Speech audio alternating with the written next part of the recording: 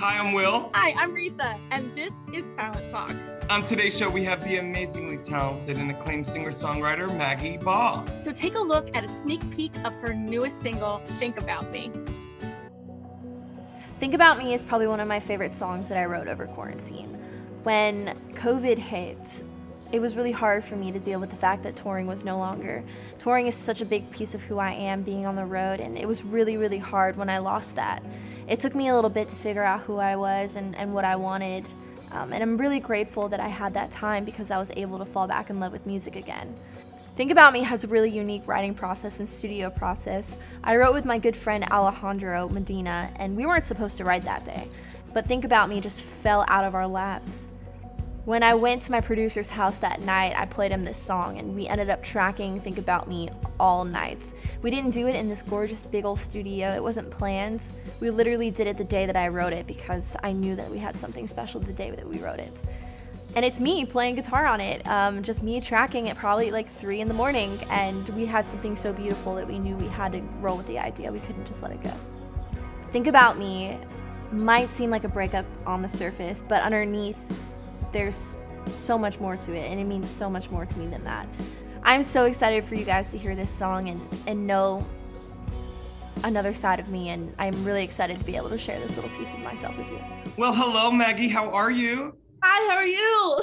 I am doing great and Risa and I are so excited that the audience just got a little sneak peek of your amazing song, Think About Me. And uh, Risa, I know you have a first question, so go for it. Oh, I do. Maggie, I think you're so incredible. I've watched oh. you perform for the past couple years and I've always wanted to ask you like was there a moment or a show that you saw that like changed your world and you're like, "Yes, this is what I want to do with my life." Actually, yes. So I saw a girl by the name of Caroline Cole play in North Carolina. She was 16 years old. It was at a bluegrass festival. Um, and I was just stopping in, um, went to go say hello, and, and I, and, I, saw her play. And she told me that she just got signed with Sony um, and was about to go on tour with Reba McEntire. So, of course, like me being, I think I was 12 or 11 at the time um, me seeing her, I was like, oh my gosh, I have to go talk to her. And so I did. And she told me to play anywhere and everywhere I can because I never know who's watching.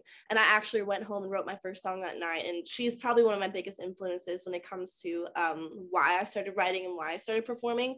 Um, I'm really grateful that I get, I get to call her a friend today. Um, um, so I would say Caroline is definitely the biggest influence. I mean, I've said this before on other shows we've done, but do you think that music is therapy? Just curious. 100%. So a lot of people, it's kind of funny because my story is a little bit different. I know that people think when a girl my age walks in that they think that Taylor Swift was one of the biggest influences that got me into country music. And I love her. God bless. She's amazing. I went to uh, a classical music school. And so I actually played at Carnegie Hall in seventh grade. you put that up and I didn't I didn't know that you did a show there. Will is all over that. Yeah, I well when I was 12 years old, you you probably were there. well, you beat me. I mean, I was 33 when I headlined Carnegie Hall, so I'm gonna go cry about it in my. I played in an orchestra. I wasn't cool. Mm. I was a little dress. I was in the back. Anyway, but I. Maggie, but you're gonna headline one day. I'm not worried about it. Yeah. You're gonna do it before yeah. you're 33, so you already won. Anyway, keep going. Can we have a really big hug backstage? Can I finally meet you in person? Yes. Amazing. Okay. Right, continue with the story. so I was in classical music and I actually started getting bullied at school, which is how I, I started writing music. It wasn't because I saw someone on stage. I mean, I saw Caroline, but I was writing poems before that. I was just writing not music because she was the person who got me into writing songs, but I was just writing my words down and writing um, poems and just writing my feelings down. So when you said that music is therapy, it definitely saved me from a really dark time in my past. And I'm really grateful that music got me out of this dark time from COVID as well. That's amazing, Maggie. And in terms of therapy, I'm sure your fans have told you in private messages and whatnot and comments all over your social medias, but you have such a beautiful, positive presence all over social media. And I'm sure that your presence has also been therapy for others, especially during this time. And I'm curious if you've received that because I feel that getting to know you through your social media before, you know, meeting via oh here? Oh gosh, I definitely have, and so I re- will never forget this story. So I um, play Virginia a lot, and there's a guy named Gary in Virginia. I think his name is Gary Brown. He's gonna freak out that I just shouted him out. but his name is Gary, and so I wrote a song called "Shine." It's never been out. I, it's just something for me that I wanted. It was like a therapy song for me, and it was named "Shine." And the hook is "Remember who you are and shine." So it's basically about remember where you came from, remember who you are. Um, it definitely helped when I was getting bullied to just like remember who I am, remember why I wanted to do this. And I think I was going through really a dark time, like not really realizing who I am or what I wanted as an artist. And I remember just looking back and remembering exactly why I started and what I did this for. And I have a tattoo on my arm that says "Remember who you are." Oh, it's beautiful. Yeah, so I got that um, first, and then when I was in the songwriter room, um, the, my co-writers were like, "My daughter is getting bullied at school," and so I told her my story, and I was like, "I have a tattoo on my arm that says "Remember who you are," and so we came out with the hook "Remember who you are" and shine. So I played that song at a show in Virginia, and Gary came up to me and said, Maggie, I've heard you play Shine before. I'm obsessed with it. I love that song. It definitely saved me from a really dark time. And he showed me his arm, and he got a tattoo of Remember Who You Are on the same spot on my arm, oh. on his arm. Yeah, so we have matching tattoos, Gary and I. I got chills. I have chills. That's amazing, Maggie.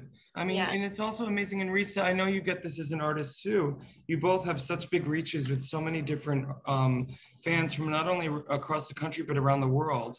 And you know, I think about those those people out there. You never know who you're going to touch on such a specific level. Well, I'm such a huge believer in signs, and Maggie, I don't know if you are, but I think I know Will is. Um, Maggie, have you had any signs that you were like, yes, I'm meant to be here, or yes, you know, this shows me that I'm right where I'm supposed to be? Um, I would say yes. So my story for that would be um I, like I said, I started playing violin when I was six years old. I went to uh, Nashville. One, one of my very first times I went to Nashville, my dad took me to the Grand Ole Opry. And the Grand Ole Opry to this day is probably still one of my dream performances. Um, anyway, so I was going backstage and we saw Charlie Daniels, rest in peace. We saw Charlie Daniels play. Um, it was my first time seeing him play and I brought my violin with me. And so I took a backstage tour, one of the tours you could take either uh, the morning or like the night show. And um, I took the night show. And so afterwards, as I was walking through the hallways of the Grand Ole Opry, Charlie Daniels walked by me and I had him sign my violin. And so ever since then, that moment, that has been probably one of my like craziest moments of like, oh my god, this star is like in front of me, and I was definitely starstruck by this like old man standing in front of me. Um, but I would say uh, two months later, um, I opened up for Charlie Daniels. I played uh, the national anthem on violin, um, and I remember I was sitting there eating my goldfish, and literally his manager comes comes over to me and was like, "Do you want to play on stage with Charlie?" And I was oh. Like, God. And so like I was years old and I played Devil Went Down to Georgia on stage with Charlie Daniels, literally two months after he signed my violin.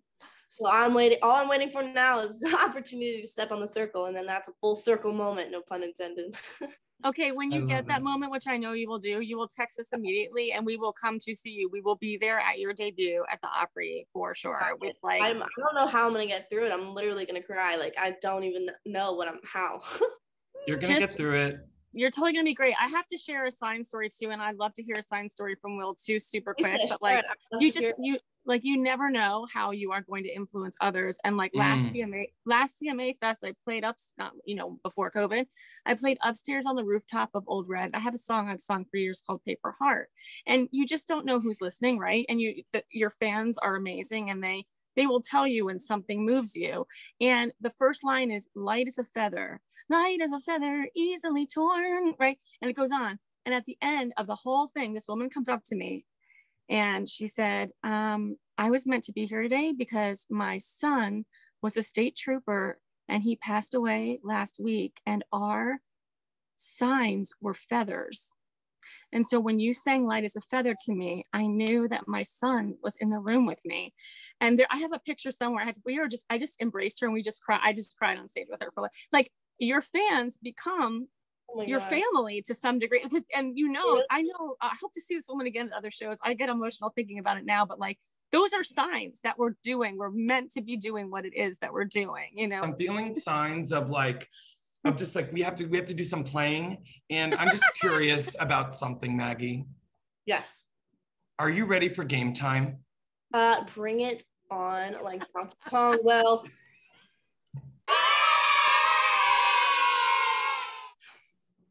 Oh my gosh. Well, Maggie, we have to ask you. This is a super fun thing. Do you have like a number that stands out, like a lucky number in your life or a number of significance? I do. It's number 16.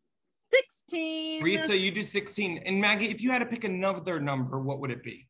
21. I just turned 21, baby. Woo! I'm feeling that. Okay, I got 16. Ready? Yeah. Okay. Oh, well, all right. You're on a road trip and you stop for lunch.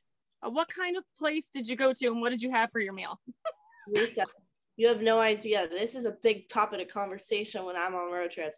So Oh, we have like a family feud. I would say band feud because when we're on the road, it really depends what market we're playing. If we're in Florida, we are getting Moe's, we are getting Wawa, like go to. If we're like somewhere up north, maybe we might do Sheetz.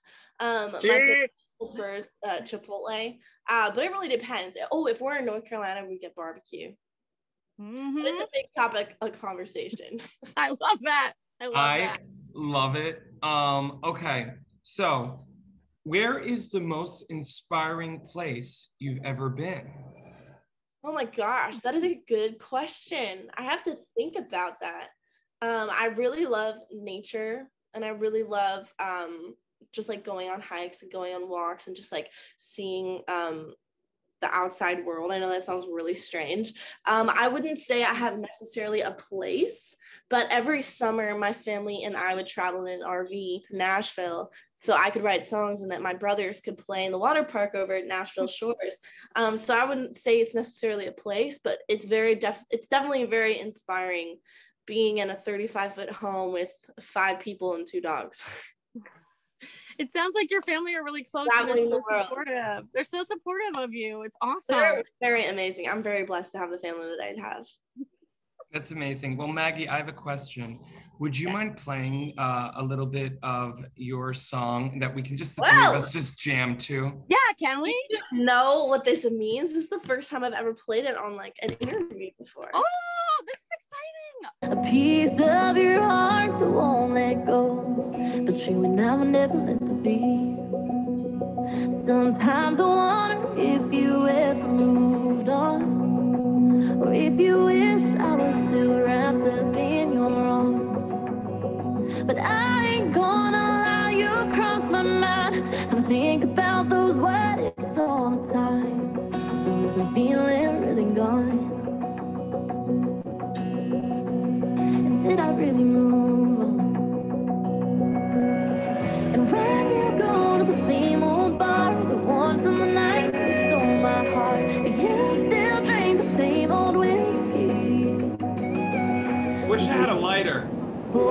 Pour yourself glass of all the memories you had, do you still think about?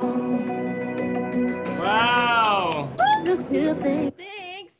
Amazing. Well, Maggie, thank you so much for joining us today on Talent Talk. You are such an incredible talent. Your star is, I mean, it's it's it's it's limitless. It's like beyond freaking galaxy. And uh, it is. And we'll be in the front row cheering you on this whole time. We promise. We just can't wait to watch. you so much. I love you both. Oh. Love you. love you.